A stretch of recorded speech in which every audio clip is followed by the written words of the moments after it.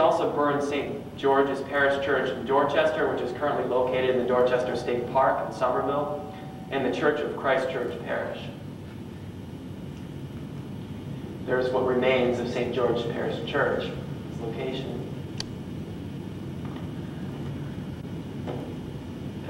The British targeted St. Michael's in Charleston, and by that point it had been painted black to try to disguise it. Well, that didn't work. Uh, they were in fact shooting at St. Michael's. It was a major target, and a shell glanced the steeple and rocketed through the plaza behind, uh, striking the arm off the statue of William Pitt. Again, the congregation helpless to do anything about it. The British also spared, they spared some churches. So, as the story goes, the Church of St. James Santee in Berkeley was spared because of the British coat of arms displayed prominently above its door. I don't buy it. Now, that's the, that's the myth. I believe that that's be, the reason that they spared the church was because the loyalist sentiment in that area. Goose Creek. Goose Creek had a number of loyalists, a number of planters that supported the British cause. I think it was sort of a act of appreciation, perhaps, uh, not to destroy that church. The British also pilfered the churches of their records, so for, uh, and their valuables. So they took the bells of St. Michael's upon their retreat. Um, they took the Bible of St. James Santee. They took the uh, plate and other records, other belongings of Christ Church Parish. So it was a time of great uh, loss and destruction. Now, St. Michael's did get its bells back eventually. St. James did get its Bible back when one of its former members discovered the Bible in a shop in London. But a lot of damage had been done. So I'd like to conclude by just suggesting that the alarm of war applied to all of the three major churches and at different times. Now, this is initially a battle over hearts and minds in Charleston in the backcountry. Talk about disestablishment and the Presbyterians, Congregationalists, Baptists, and Episcopalians. All of them felt the pressures of the war. All of them felt the destruction, um, their congregations shattered, many of their members uh, killed, their churches destroyed in many cases. So it was quite a trying time. But there would be post-war recovery, rebuilding, and change. It just came very slowly. Perhaps one of the biggest legacies of the war is the rebuilding of the Baptist church and the increasing percentage of Baptists in South Carolina, and also the leadership of Richard Furman. But for many, there was such devastation that it took decades to rebuild their churches and to put their congregations back together and to reorganize. So I hope this provides a little background of what was going on for these people. And I want to thank you for listening. Look forward to any questions you might have.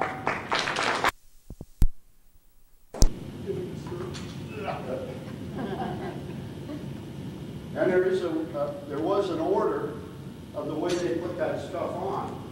Because if they, you know, at some point you figure you're gonna have to run for it. And as you shed this stuff, there's certain things you really want to keep. Normally the first order they always carry like I said, I have my hanger here, but notice this is a double hanger. I'm a sergeant major normally, so I have my bayonet usually attached to the sword. The bayonet always going first, because no matter wherever the men are in camp, they're always armed with a bayonet. Next thing would go on was the cartridge box, and over top of the cartridge box would be their canteens if they have them, haversacks or the equipment in. With the muskets at the time, for anyone to join the service, you only had one major requirement. Two opposing teams. That's it. Everything else could be waivable, you'll still join the ranks, it's fine. The idea of most of the armies back then, they would load from a paper, paper cartridge. It's a lot faster. Trying, instead of trying to load from a horn, pour it down, because you have to measure it, it takes time. When you're on the battlefield, the soldier didn't have that opportunity. So they used to make pre-made paper cartridges with about 80 to 100 grains of powder and the ball in it. So in order to join service, you have to have two pairs of teeth so you can bite the cartridge and pour into the, into the muskets themselves. Now, one thing about the traditions about the muskets is we still use a lot of terminology today. When you own everything, you own everything lock, stock, and barrel, right? Lock, stock, barrel. Another key thing about the muskets is we have a half cock, which prevents them going off. So if you have a tendency to fly off the handle, you have a tendency to go off half cocked. That's because when you're loading, the musket is right here. You don't want it to go off at half cocked, it's right here in front of your face.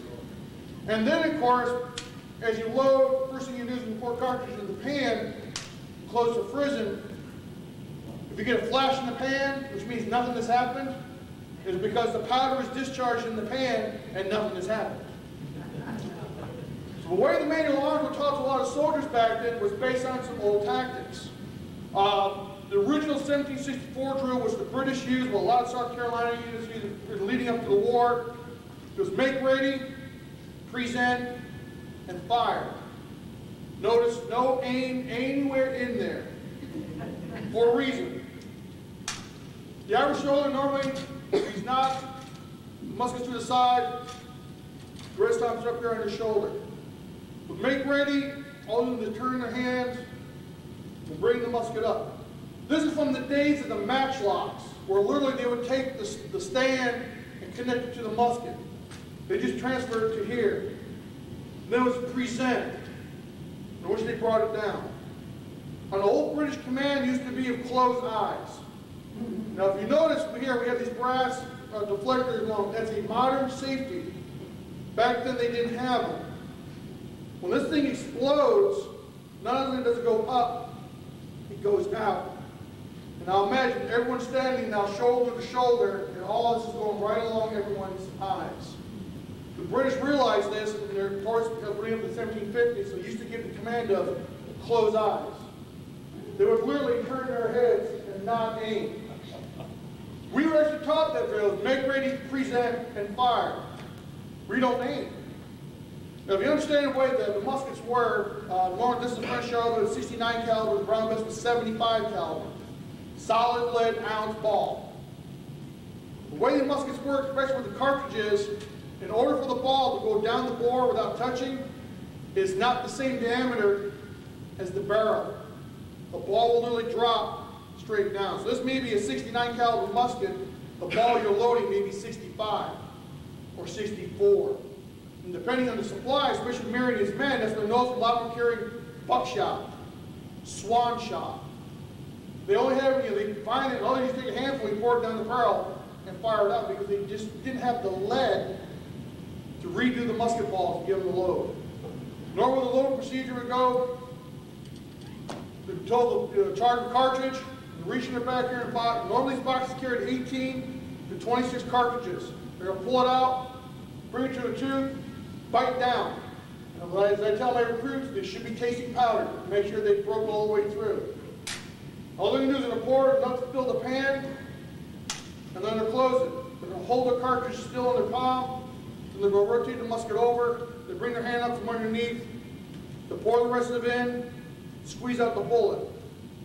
Now normally they won't use the ramrod first or second rounds, but they have to towards the end because the, the powder is following up so bad, it's at the ram. This is where discipline and training really pays off because if the young soldier forgets to remove his ramrod and fires his musket, now he has a 13 pound club because he won't be able to load effectively again. Once it's rammed, it comes back up to the shoulder. They're just going to make, make ready, present, and fire. Very large explosion, a lot of smoke, uh, especially the, the way the grade of gunfire was back then. The fog of war really existed. The idea back then, especially by British tactics, was the musket was a noisemaker. The idea was to close with the bayonet. Because the muskets were so inaccurate. Even with 500 men on line, you still have all this balls flying down a range. If you're at 50 yards, you might hit somebody. Beyond 50, you're really rolling the dice because the balls are coming out different, different matter. They're going everywhere. That's even guaranteeing if the musket went off. Human conditions that we have outdoors, they'll gum up the powder. They may not shoot. Operating in the swamps, for sure, powder may or may not go off. But the key was to get close enough to drive home the bayonet. And that's what the British used their muskets for, to advance on line to get close enough to charge with the bayonet. Up till 77, the American forces did not have bayonets. And we were pretty much charged off the field. Contrary to most belief, the bayonets were dull. They were not sharpened. The reason being is if you actually drive your bayonet into somebody with a sharp blade, it will get stuck in the body. Now you gotta sit there and try to pull it out. I really don't have to sink all this into you to get you to go away. I just gotta get about that much to encourage you to go the opposite direction quickly, which is what they did. Till we finally learned how to use bayonet, we were always charged off the field. But then they get online, again, depending on what supply systems they had, a lot of the the militia had first model Brown Besses, which was actually about that much longer, left over from the French Indian War. The second models are recovered. The French, depending on the lead, it may or may not fit. And get swan shot, buckshot, big shot, little shot, rocks, anything they could find. Sometimes during the battle, only seven cartridges. And then tried to recover off the bodies at the end during the fight. Um, that's pretty much how they use it, and then online lineage practice forward and back. With the rifle, on the other hand, and that's most people get misunderstood about. Calls, well, gun's a rifle. All the muskets were smoothbores. There was no rifling at all to help the spin of the ball make it accurate. That's why they were, you know, only accurate to maybe 50 yards in a good day. The rifles were brought over by the Germans to Lancaster, Pennsylvania, back in the 1740s. They're the ones that brought the technology of actually boring out the rifle bore, so when the ball sits in there, it spins and comes out more accurate. Rifles had an effective range up to 300 yards. That could kill somebody versus 50. The difference is I can load and fire a musket once every or 15 seconds or an average soldier once every 20. It takes 45 seconds to a minute to load this. Because when you're loading a rifle, you can normally load it from a cartridge or you load it, but you have to load it from a horn. But once you put the powder in, you got to start the ball. And it's normally patched, and because the ball's so tight, you're literally sitting there trying to jam the bullet down. And more times you fire your, your rifle, it's being coated on the inside with more powder. That slows it down. So it takes up to a minute. You also notice on the end of this, there's nothing to put a bayonet. By modern military tactics, a military arm has to have a bayonet. That's why the rifle was never adapted and accepted as a military arm because they couldn't put a bayonet on it. Still, you get select few riflemen, which Marion and a few of his men have proven, you can start picking off officers at long range, because you got British officers, nice gorgets, a lot of legs, easy to identify in the field and take them out. That's what always happened to General Washington, because both sides had riflemen. Not just the, the Hessian Jaegers themselves, but even the British learned during the French Indian War to use riflemen. Patrick Ferguson is a good example. He created his own rifle. And he almost had General Washington dead to rights at the Battle of Brandywine. And he was an expert shot, and he had a clear shot, you know, George Washington not being a short man, on a horse. He had a rifle and had him dead to rights. But he felt it was very improper of him to shoot this gentleman in the back because he was really carrying himself in a professional manner and wouldn't be right. Had he shot General Washington and him changed the course of the war, they would have killed him right on the spot. But once the rifle is loaded, but they go through the same thing, they still have to put powder in the pan, cock it, it just takes a while to get it down inside the bore, but once it fires, it'll reach out to 300 yards. More effective. That's why usually the riflemen will work in conjunction with the infantry because they'll be covering them with fire while the rifle will come up. But contrary to everything else, only about 20% of the wounds suffered in the war were by bullets. The rest were by blades. And even these, the swords carried by the cavalry, by the infantry, were dull. For that same reason, you don't want to stick this into a body because the cavity would seal on it and get caught. Versus me go up and hit somebody with it and break an arm, break a leg. Now two of them have to carry him off the field. That's three removed from the fight versus just one. I believe, presented at every one of our symposiums. And uh, it's always, always difficult for me to introduce someone of that prestige, world-famous, highly acclaimed author, uh, wife of a military officer for 20 years, and then uh, he has uh, been the husband of this famous person for Please, with all this high-tech stuff, they don't have a microphone that will work. So I'm here with my teacher voice. Uh, Yes, George, I've been here every year uh, following the career of Francis Marion. I am not an his- an historian. I am a storyteller. And I think the Southern Campaign is a great story. Now, as a retired teacher, I would like to give you a test over what you recall from the last four years. But that's impractical. So I'm going to have to do a little review.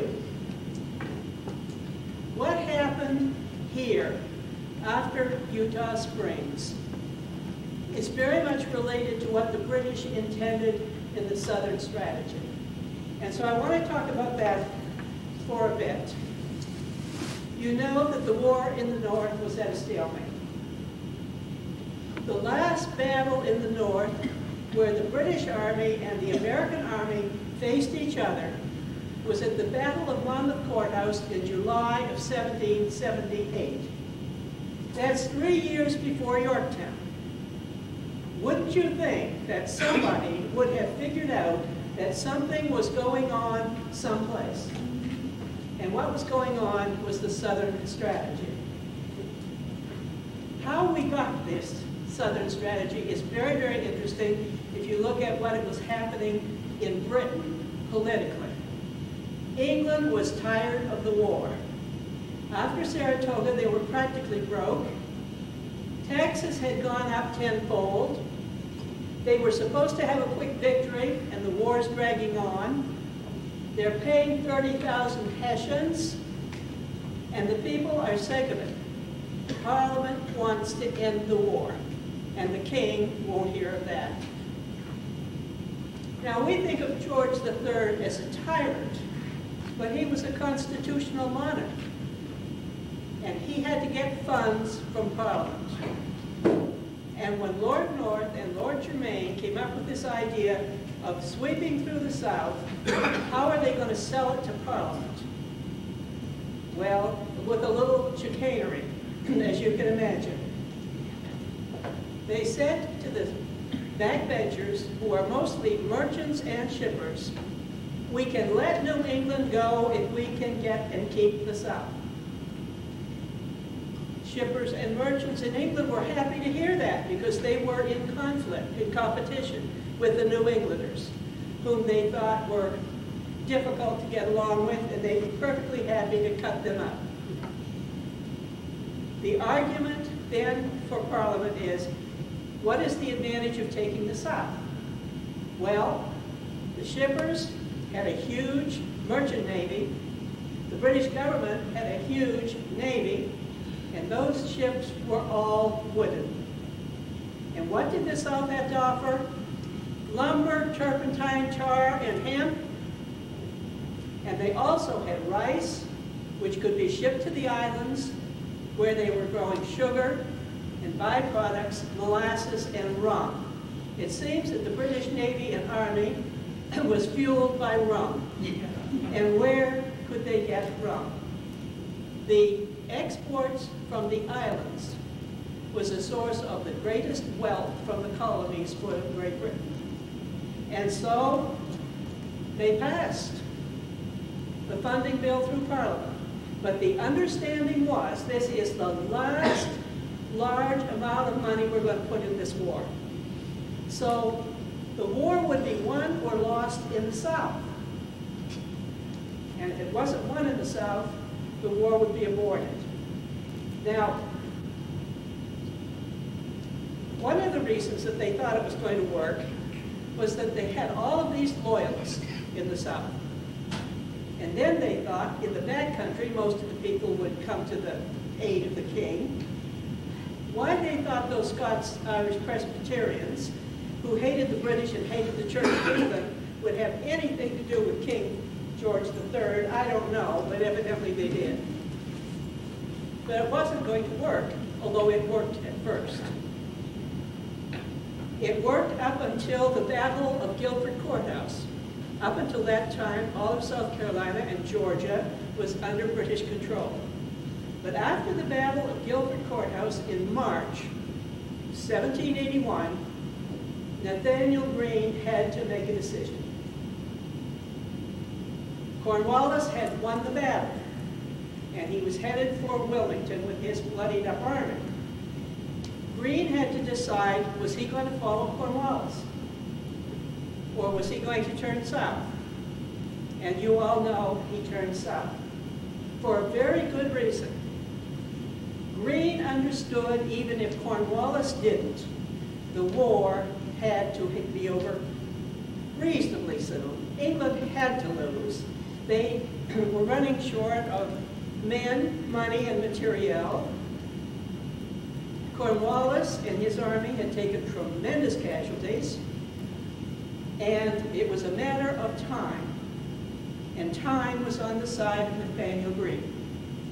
Now, I think Greene was probably the brightest, most capable general in the American Revolution. He might have been the brightest man of the age if you exclude maybe Benjamin Franklin. But Greene understood what Cornwallis ignored. The war would be over, but when the war is over, England would keep all it occupied. That was international law at the time. It's called uti possidetis, what you hold, you keep. And if the war had ended shortly after the Battle of Guilford Courthouse, England would have kept Georgia, South Carolina, and North Carolina. They hadn't yet got to Virginia, but they had almost all of what they wanted in the South. Now, if that had, they had been successful, at your baseball games, you would start the program with God Save the Queen. Did you ever think of that? If, if had failed. So, Greene turns into the South, and he's going to have to depend on militia. And he has three militia generals, Andrew Pickens, Thomas Sumter, and Francis Marion. He also has some very capable militia colonels. Elijah Clark, he's got Shelby and Sevier in the bad country. And he lets them all know that he is coming south. Now, it's going to be a race. Will Greene take back the South before Cornwallis has to surrender? And we'll see. He did make it by not, but not by much. Now, if you remember, Lighthorse Harry Lee came into the South then uh, to campaign with Francis Marion. Now, Greene had, at first, the three generals that he could count on. He could count on Andrew Pickens. After all, Pickens had commanded at, militia at Cowpens. He could depend on Thomas Sumter, who had done tremendous damage to the British. And he could depend on Francis Marion. So he moved south, and although things went very well at first, by the time of the, of the Battle of Eutaw Springs, Sumter is no longer a player. Now, he was a brave general, but he was not a team player. And by the time of the Battle of Eutaw Springs, he is no longer involved. And I'll let him speak for himself the next hour, and he can explain how all of that came about. But the Battle of Mont at, uh, uh, at Eutaw Springs, and I think the Americans won. All the correspondents suggest the Americans won for the first 20 years after the battle, and then all of a sudden, somebody decided the British won, and I still don't understand that. But when Greene left the battlefield that afternoon, he uh, uh, had a strong picket on the field, and uh, he moved back to regroup and to take care of his wounded. Now, all of the commanding officers of the Continental Army at the Battle of Eutaw Springs were wounded or killed, with the exception of Light Horse Harry Lee and Colonel Otho Williams.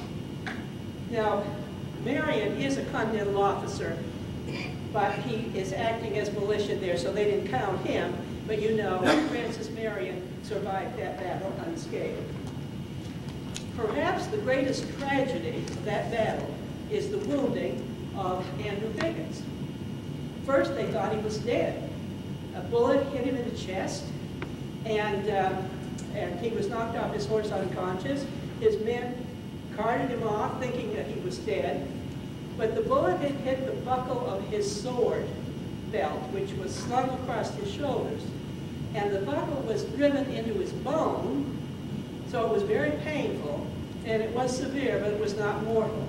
But it puts Andrew Pickens now out of the chain of command uh, for quite some time. And it leaves Francis Marion as the only brigadier general of militia active in the South after the Battle of Eutaw Springs. The correspondence after the Battle of uh, Eutaw Springs is very interesting because Greene reports a victory, Otho Williams reports a victory, Washington congratulates Greene, Congress awards a medal to Greene for winning at Eutaw Springs, and an Ansbacher at Yorktown in his journal writes about the battle that had occurred in the Eutaws and said the British lost.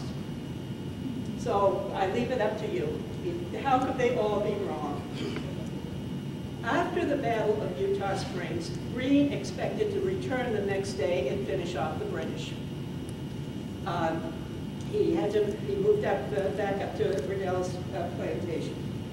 And he sent Light Horse Harry Lee and Marion down the, the Monk's Corner Road to get behind Stewart in case Stewart tried to withdraw immediately. And when Greene arrived at the battlefield the next day, Stewart was planning to leave. Uh, I understand that the weather was not very good.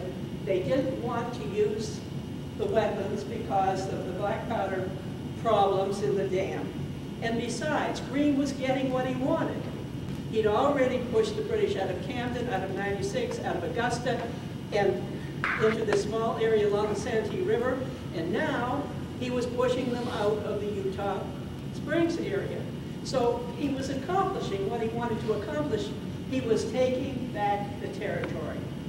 Now, shortly after that, we find from William James that while Marion and Lee were on the Monk's Corner Road, they found that MacArthur was moving toward the British with supplies.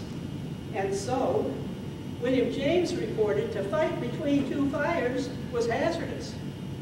And so Lee and Marion disappeared into the swamp rather than have to fight in front and behind. So the day after the battle, Marion and Lee follow in behind Stewart and MacArthur and start picking off stragglers. In fact, Lee reports that he took some wagons of wounded, and it appears that he removed the American wounded from the, from the wagons and let the wagons go on to Charleston with the British uh, wounded. Greene follows Ferguson, I'm sorry, follows Stewart down the Monk's Corner Road to Ferguson's Swamp. And at Martin's Tavern writes a report to Cornwallis. Now, that report is not quite accurate because uh, he didn't mention all of the prisoners that he, or all of the men that he had lost who were now prisoners because Lee and Marion are taken prisoners. There were a lot of prisoners taken at the battle. There were prisoners taken in skirmishes before the battle. The people who were digging potatoes had been policed out. Um, so Stewart writes a rather optimistic report of that battle. And then he moves on toward Charleston. And the next day, Greene arrives at, at Ferguson Swamp, and he writes a report from Martin's Tavern uh, telling about the battle. Now, there was no advantage in Greene following Stewart any further toward Charleston. Uh, Lee is uh, still in the field, and Greene returns to the battlefield at Eutaw Springs, and he buries the dead. Now, other commanders had all had commented, the victor buries the, gets to bury the dead. Uh, the other reason that I am reasonably sure that the British uh, lost that battle is they did not bury their dead, and they did not take all of their wounded off the field. Uh, my conclusion is they didn't control enough of the field to recover the bodies and to recover the wounded. But anyway, Greene buried the dead, policed up the wounded, British and American, and moves back up to the high hills of the Santee. His army is in terrible shape. Lee reports that they're sicker than they have ever been. And he does mention that Marion's men are not ill, and he thinks it's because they're used to the swamp.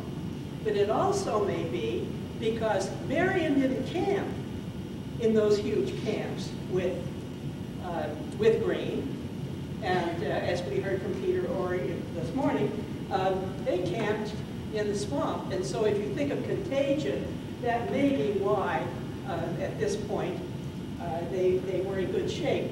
Although, there is some correspondence between Marion and Greene, where Marion says that he has been ill, but not too ill to ride his horse. Now, I thought that because Marion drank vinegar and water, that he was immune from the disease of the swamps, but evidently he did uh, occasionally get sick.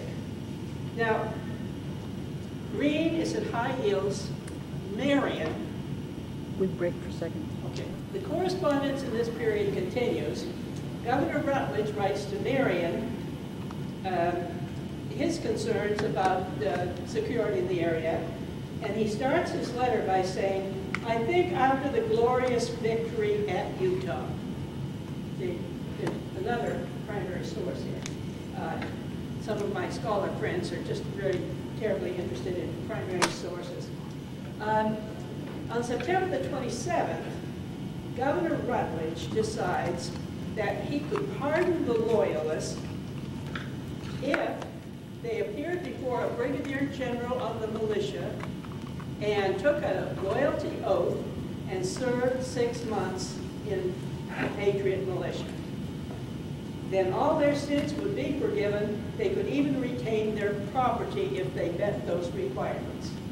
Wouldn't you like to think that six months good behavior and all of your sins would be forgiven? Well, what militia general? There's only one. And Marion is going to have to deal with that. Now, Greene writes to Marion they need to be vigilant in case Cornwallis breaks out of the siege at Yorktown and gets back into South Carolina. From here on, Rutledge has an agenda which includes Marion's help. Greene has an agenda which includes Marion's help. And Marion is, from now on, he has more on his plate than he can say grace over. The demands on Marion this last year, when things were supposed to be winding down, is tremendous. Now, there's a concern about the British. Now remember, early on, when the British occupied the state, they had British troops in Charleston. Now, they've got troops that were taken from Camden, here in Charleston, from Fort Motte, Fort Watson, Granby, 96. At least they didn't have to absorb the Augusta troops because they went to Savannah. But all of these troops are in Charleston. In addition, they've got all these Tories that came, that evacuated with them, and their slaves. How are they going to feed them? They're going to have to raid the plantations along the coast for cattle, rice, and foodstuffs. And who is expected to stop them? Francis Marion. Now, Marion had to deal with the mounting rivalry between Horry and Maham. And I'll not going to go into that because you heard about that this morning from Peter Horry himself. Cornwallis was defeated at Yorktown in the middle of October, the 19th, I believe. The word didn't get down to this area until much later. And Marion is at Cantey's Plantation, which I think is here in Clarendon County.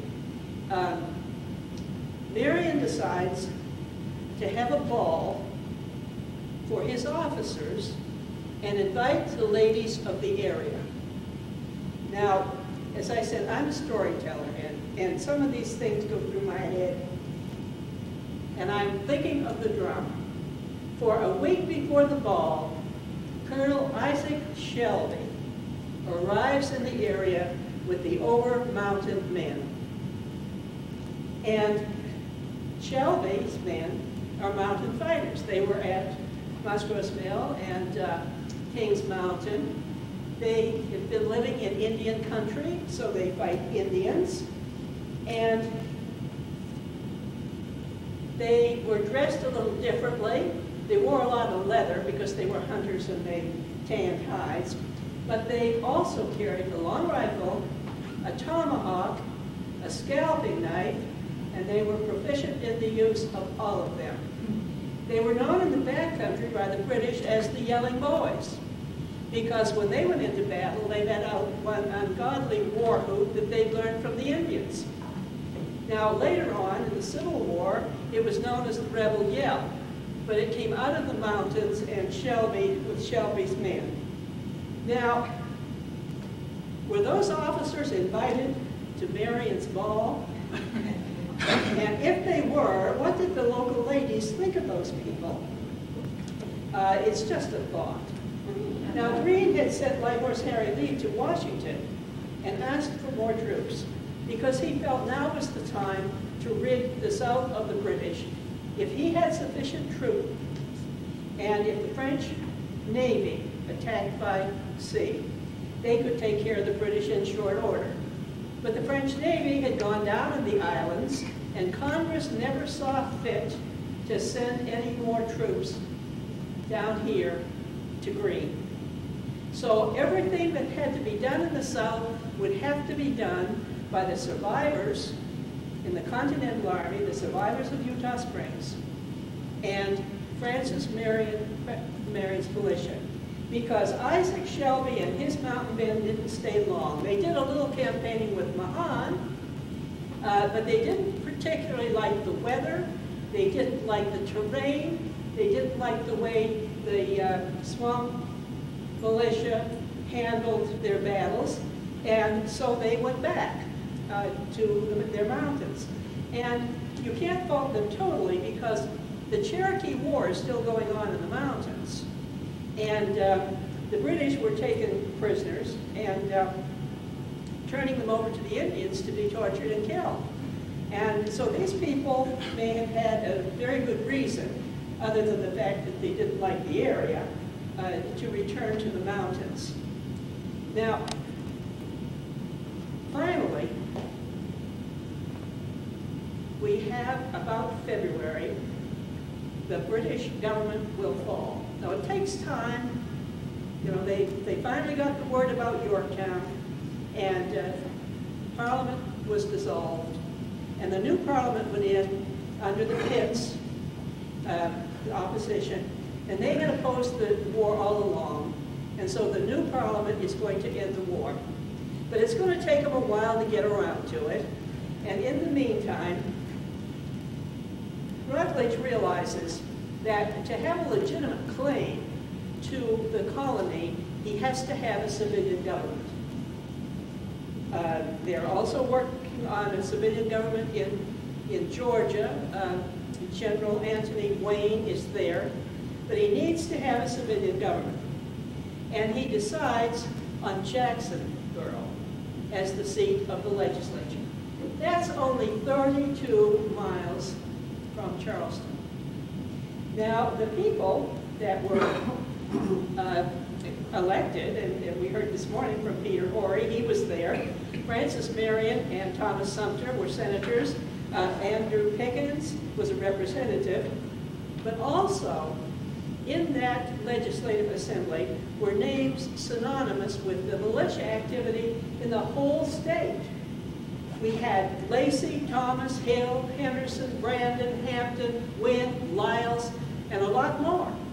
And now they're at Jacksonboro, and you ever wonder how come Bloody Bill Cunningham was able to go sweeping through and, and attack Dickie Felder up at the Walnut